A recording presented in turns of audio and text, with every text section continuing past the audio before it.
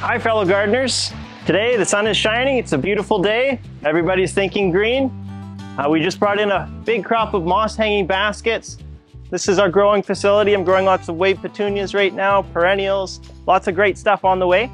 Today I'm going to be talking to you about what is safe to plant now, what you should keep inside, and what you should harden off.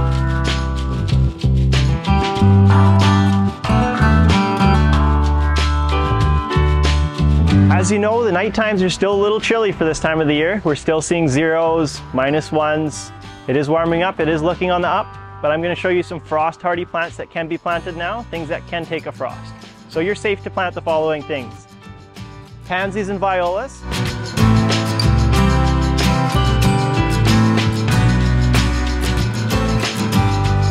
Spring bulbs like daffodils, tulips, hyacinths,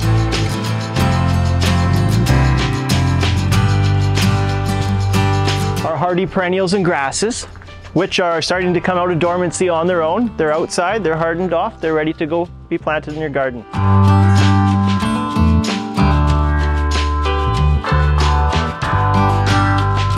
All of your cold crop vegetables such as broccoli, cauliflower, cabbage, kale, greens, lettuce, arugula, onions, they're all good to plant.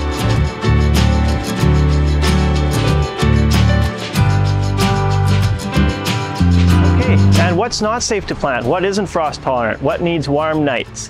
Things such as geraniums need a nighttime temperature closer to 10 degrees. Double digits overnight is preferred. Same with the following things.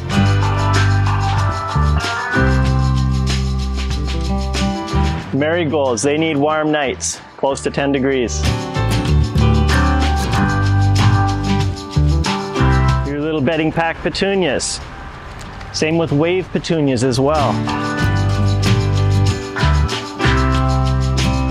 Your little basket stuffer plants, your little plants that you're gonna put into your hanging baskets, all these tender annuals, they can't take a frost either.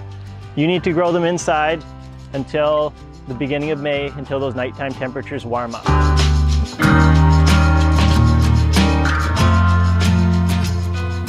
We've just brought in over a thousand of our homegrown hanging baskets here. These are our summer baskets. We'll have them for sun and shade. These have to be brought inside overnight till the nighttime temperatures are close to 10 degrees.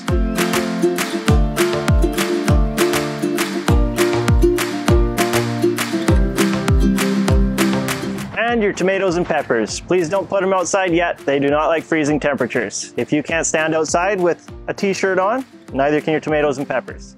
Keep them inside until May.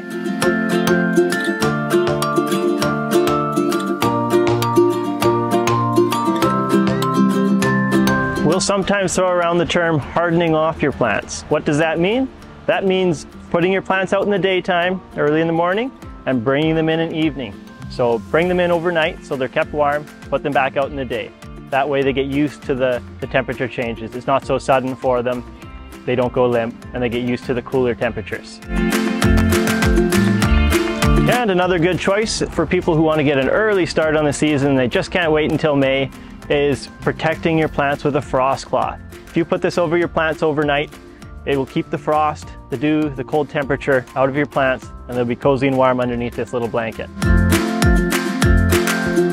Plant your spring annuals now like your pansies, your bulbs, your cold weather vegetables, your annuals. Come in now while we have a great selection. Plant them up into your little pots and baskets. Keep them inside so they're nice and warm or in a garage somewhere where the nighttime temperatures are warm. Put them out in the day if you like, just bring them in at night. And by the time May comes, they'll be nice and beautiful and ready